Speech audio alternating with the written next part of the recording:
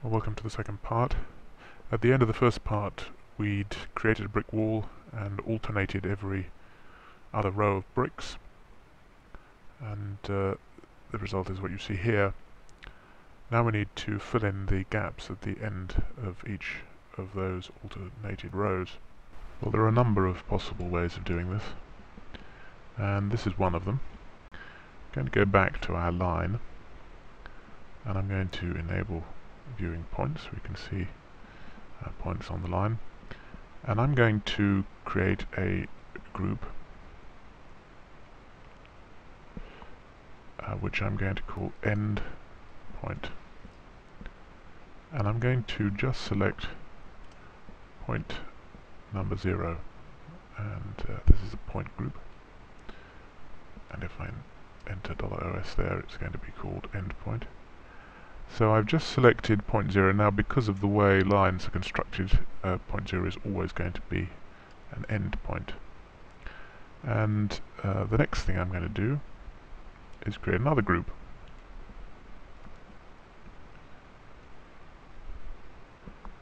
And this group is going to be not end points. So how am I going to create a group which contains everything apart from the endpoint? Well, the answer is in this combine tab here. It's point group. I'm going to take for the group name here $OS, so this is this group that we're creating. And for the other group, I'm going to take the one we created a moment ago, endpoint the moment this equal sign means that the group we're creating here, not endpoints, is identical to this group. It contains all the points in here, i.e. just the endpoint.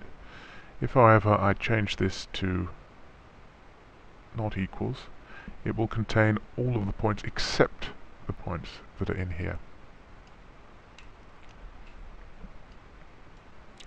Now, let's lay out our network. So we've got two groups here. If I middle mouse over the top of them, we can see that the endpoint group has one point, as we expect, and the not endpoints has 10 points. What happens when we create the extra rows by duplicating these?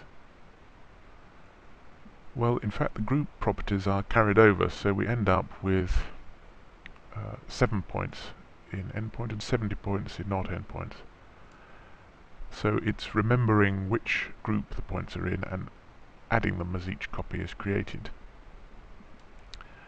If we go back to our copy SOP, we can see that there is a field here called template group.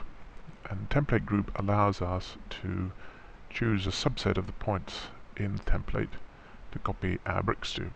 So in this case, I'm only going to copy the large bricks to things which are not the endpoint. And then we need a further copy SOP. And I'll enlarge this so that we can see it better, to copy our half bricks. So let's lay that down.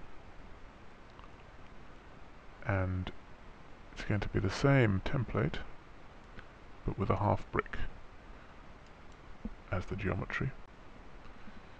And what we want to do is copy this to endpoints. And that's giving us just those bricks there. And then I need to merge these together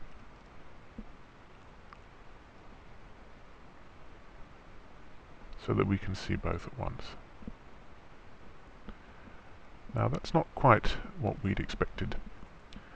Uh, first of all there's an offset between these small bricks and the rest of them. And the reason for that is that of course the difference, the, the gap between the points here is still the same as the length of this brick. So I need to adjust the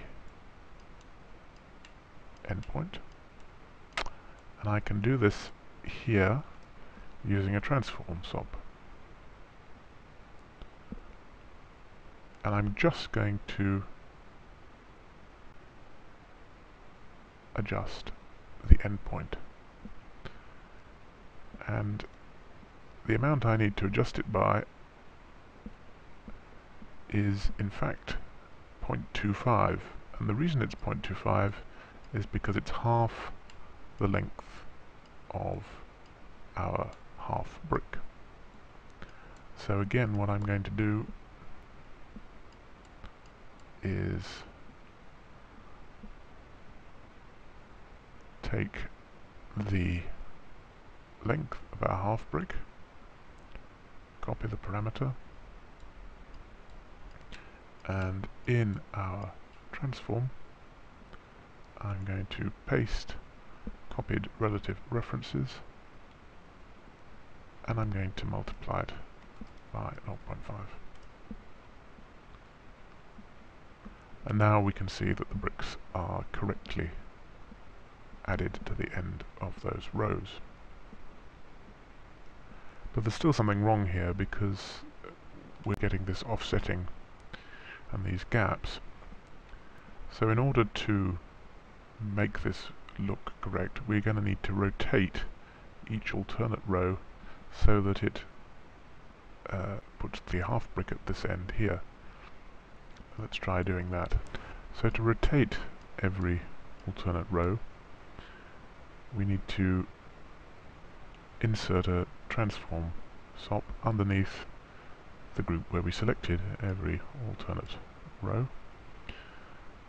And uh, in fact, of course, we've got one already here, so I can use that. This is offsetting uh, each row. We also need to rotate each row by 180 degrees.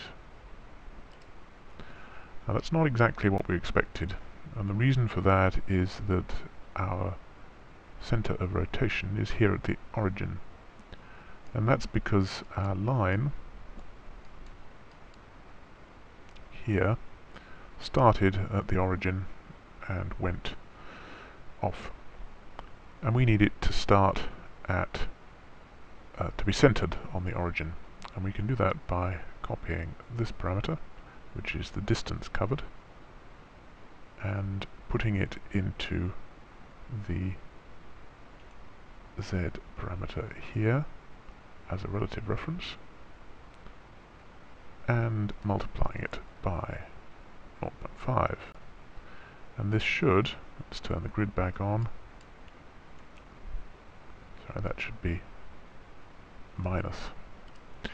This should ensure that our line is centered on the origin and that's what's happening. So if we go back to this transform,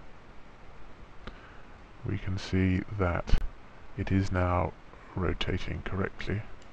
And if I go back to the final node, we should see that the bricks are aligned, but they're not. And what's going on here? Well, the reason for this is that the copy SOPs are using point attributes to transform the bricks as they're copied. And because we're rotating the uh, points in the alternate rows, we get this odd behavior. So we need to take this off both of our copy SOPs. And now we find that we have a brick wall with proper alternating rows. And because we've built this procedurally, we can uh, change the number of rows, and we can do that quite simply using uh, this. And we can change the number of bricks in a row, like this. And it still works. And we can also change the size of a brick.